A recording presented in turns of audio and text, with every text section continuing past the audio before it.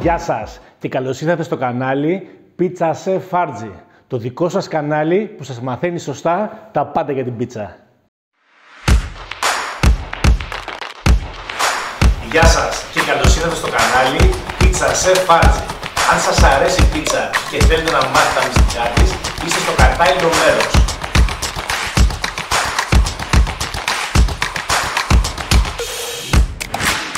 Εδώ θα βρείτε συνταγές, συμβουλές, online μαθήματα και διάφορα είδη ζύμης, όπως το πουλις και το πίτσα. Εδώ θα βρείτε τα πάντα για την πίτσα.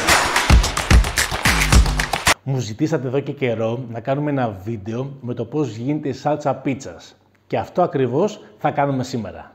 Να συνεχίσετε να μου στέλνετε τα σχόλια, τις ιδέες σας, τις απορίες σας, γιατί όλα αυτά με βοηθούν πάρα πολύ. Τα μυστικά για την νόστιμη σάλτσα πίτσας είναι κυρίως δύο. Το πρώτο είναι η επιλογή καλής ντομάτας σε κονσέρβα και το δεύτερο, τα λίγα υλικά που πρέπει να προσθέσουμε. Θα σας δείξω σήμερα τη δική μου συνταγή, χωρίς μυστικά και χωρίς κρυφά σημεία, για να μπορείτε και εσείς να κάνετε στο σπίτι σας την πιο νόστιμη σάλτσα πίτσας, σαν επαγγελματίας. Η σάλτσα που αγαπώ πολύ είναι η Σαν Μαρτσάνο. Τη χρησιμοποιώ από το 2010 όταν ήμουν στην Νάπολη και είναι από τις καλύτερες στον κόσμο. Αν δεν βρείτε, μπορείτε αλλακτικά να χρησιμοποιήσετε την πρώτο φρέσκο ή όποια άλλη σάλτσα σας αρέσει. Στη σάλτσα μας θα προσθέσουμε ακριβώς τρία υλικά.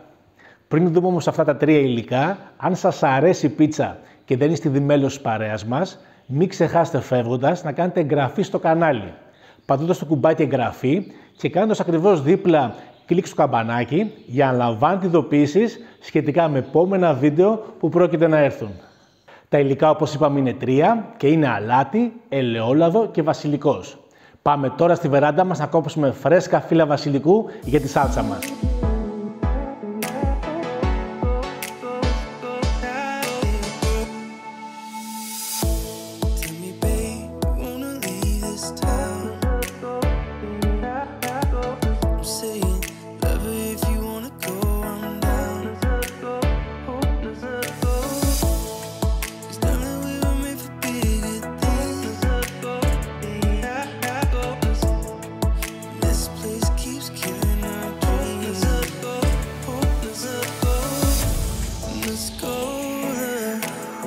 Είμαστε έτοιμοι να ξεκινήσουμε. Βάζουμε πρώτα τη σάλτσα μας.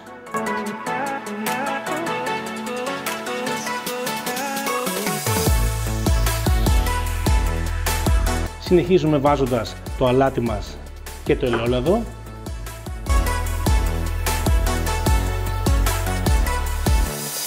Και όπως είπαμε και στην αρχή, αρκετά φύλλα βασιλικού. Δεν μπορώ να σας περιγράψω πόσο φανταστικά μυρίζει η σάλτσα με το βασιλικό μας, πριν ακόμα την ετοιμάσουμε. Στη σάλτσα πίτσας χρειαζόμαστε λίγη οξύτητα να υπάρχει. Αν σας είναι αρκετά ενοχλητική, μπορείτε να προσθέσετε ελάχιστη ζάχαρη. Βάζουμε μπόλικο βασιλικό.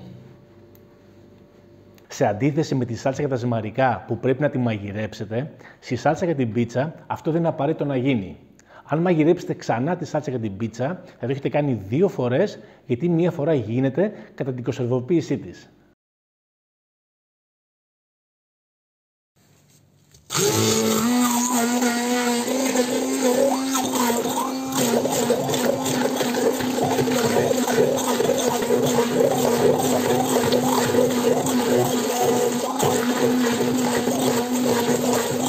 Τη σάλτσα μας ιδανικά τη βάζουμε στο ψυγείο και τη χρησιμοποιούμε την επόμενη μέρα.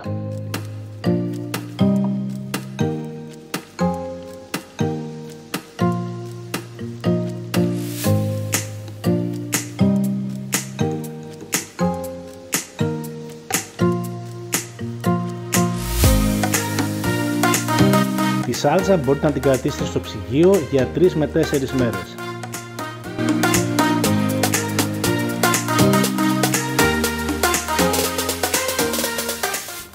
Όπως είδατε, η σάλτσα πίτσας γίνεται πάρα πολύ απλά, γιατί στην απλότητα κρύβεται όλη η νοστιμιά και η ομορφιά. Τα δύο πράγματα που θέλω να κρατήσετε από αυτό το βίντεο είναι η επιλογή καλής ποιότητας κονσέρβας ντομάτας και τα λίγα υλικά που πρέπει να προσθέσετε. Αν σας άρεσε το βίντεο, μην ξεχάσετε να κάνετε like φεύγοντας. Μέχρι την επόμενη φορά που θα ξαναπούμε πρώτο Θεός, να είστε όλοι καλά.